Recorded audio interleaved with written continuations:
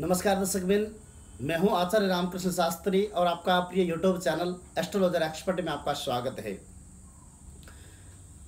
आइए आज हम बात करते हैं, अगर आपके पैसे फंसे हो तो कर्जदार खुद आकर आपके पैसे लौटा के जाएगा। ये विदित जो उपाय है, मैं अभी आपको बताने वाला हूँ। इसको करते समय मन में विश्वास और आस्था होना चाहिए। तभी जाके आपको इस पूजन के अथवा इस उपाय का शीघ्र फल आपको प्राप्त होगा। संभवत पूजन अथवा उपाय करते समय सूर्य उदय से लेकर सूर्य अस्त से पूर्व ही कर लेना चाहिए।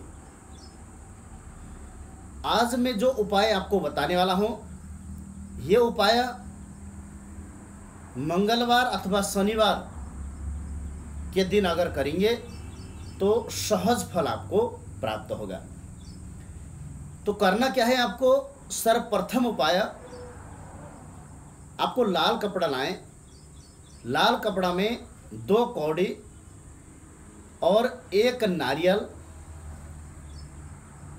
और कुछ सिक्के, बिना गिने ही कुछ सिक्के और काली राई राई लेके राई रखना है। और एक मोती शंख लाके मोती शंख रखना है। उसको गांठ बंद करना है फिर, जो सफ़ेद कपड़ा हो सकता है सॉरी लाल कपड़ा, सवा मीटर लेके ये सभी वस्तु वहाँ रखने के बाद, सर्वप्रथम जो ईशान कोण वाला कोना है ये और जो नैऋत्य कोण वाले जो कोना है, ये पकड़ के आप उसको गांठ लगाएँगे। गांठ लगाने के बाद जब गांठ लगाएँगे, आप जिनको आपने पैसा दिया है, उनका नाम और गोत्र भी पता है तो गोत्र नहीं तो उनका नाम उच्चारण करेंगे। उसके बाद जब दो और जो बचे हुए उसको गांठ लगाना है, दो कोने जो बचे उसको गांठ लगाना है। जब गांठ लगाएँगे, अपना नाम, गोत्रा और अपने मनोकामना उस गांठ लगाते समय आपको उच्चारण करना है। गांठ लगाने के बाद फिर जो पहले उसका नाम लेकर जो आपने गांठ लगाए थे, उसी दोनों दोनों कोने को दोबारा आपको गांठ लगा देना है। लगाने के बाद या तो आप घर में या फिर कहीं नज़दीक माँ भगवती के अगर मंदिर है तो वहाँ ले जाके माँ भगवती के सीधे चरण में ले जाकर आप उसको रखेंगे और अपना मनोकामना उच्चारण करके आप आएँगे। और ध्यान रहे, ये उपाय करके आप घर आते समय पीछे मुड़ के नहीं देखना और मन में शुद्ध विचार और वही संकल्प रखते हुए ये कार्य करके आप वापस घर आएँगे। घर में आने के बाद जहाँ अपना पैसा रखन धारण करते हैं, वहाँ ले जाकर एक सुपारी वहाँ रख दें। और भगवान गणेश जी और माँ लक्ष्मी से प्रार्थना करें कि जो उपाय मैं करके आया हूँ, उस उपाय के माध्यम से और इस सुपारी के माध्यम से माँ लक्ष्मी और गणेश जी प्रसन्न होकर हमारा धन फंसा हुआ, वो हमारे घर आ जाएँ। इस प्रकार के काम कामना करके वो जहाँ धन संचय करते हैं, वहाँ वो सुपारी रख दें और उस क्षेत्र को आप बंद करके अपना नित्य कर्म आप करते रहें। तो प्रथम उपाय यह है ये करते समय किसी का टोका टाके नहीं होना चाहिए और मन में आस्था और विश्वास के साथ आप करना है और मंत्र उच्चारण करने की ज़रूरत नहीं है। और मंत्र अगर उच्चारण करना चाहते हैं तो ओम श्री ह्रीं श्रीं कमले कमलालय प्रसिद्ध प्रसिद्ध ओम श्री ह्रीं श्रीं ओम महालक्ष्मी नमा। ये मंत्र उच्चारण कर सकते हैं, नहीं तो अन्यथा अगर मंत्र नहीं उच्चारण कर सकते तो मंत्र उच्चारण करने की ज़रूरत नहीं है।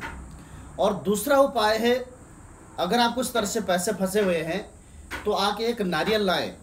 एक नारियल ला के उस नारियल को जिधर से आँख बने होता है, उधर साइड में जो आँख बने होते हैं, उस आँख में आपको तीन सिक्के रखने दो आँख बने होते हैं, अथवा किसी के तीन आँख बने होते हैं, उनके दो आँख पर आपको सिक्का रखना है। सिक्का रख के लाल कपड़े से उसको बाँध देना है।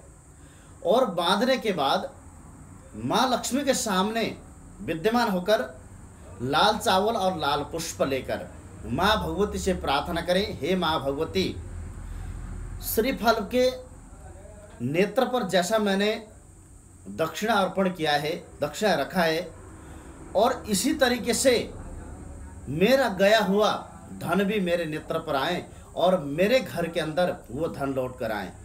इस प्रकार की कामना करके आप घर में जो सबसे अंधेरा कोना है, उसमें ले जाकर इसको रखना है। अगर अन्य अंधेरा कोना नहीं है तो कहीं उसको अंधेरा करके उसको उस जगह रख के आना है और इसको 41 दिन तक इस प्रकार रखें कि ये हिले भी ना।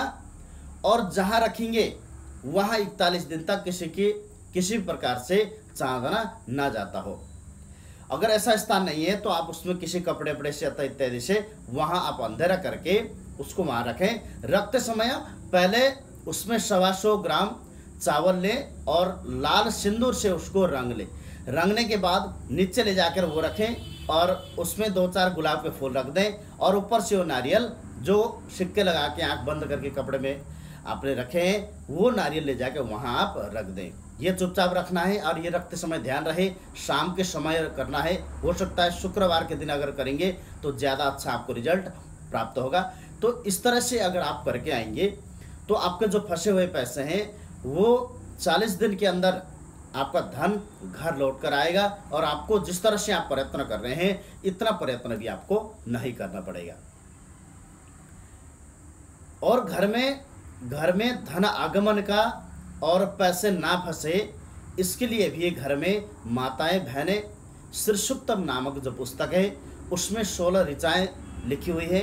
वो चीज़ अगर पढ़ेंगे तो कभी धन आगमन में बाधा, अथवा घर में आए हुआ धन संचय करने में बाधा, अथवा फंसना ये संबंधी समस्या नहीं आएगा। इसलिए श्रीसुक्तम नाम का पुस्तक लाकर अगर आप पाठ करेंगे, शाम के समय घी के दीपक जला के तो घर में सभी प्रकार के सुख संपत्ति और धन की स्थिति सदैव परिपूर्ण रहेगा। हस्तमित्र आज इतना ही।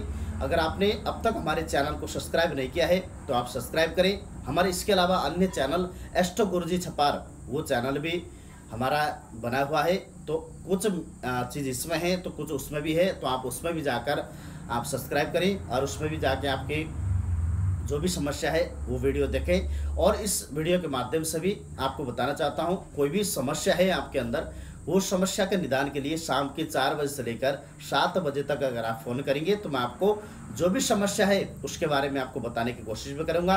और double eight, double nine, double zero और डबल सेवन, इस नंबर पर अगर आप अपना समस्या लिखकर व्हाट्सअप करेंगे तो मैं आपको व्हाट्सअप के माध्यम से उसका आपको रिप्लाई करूँगा।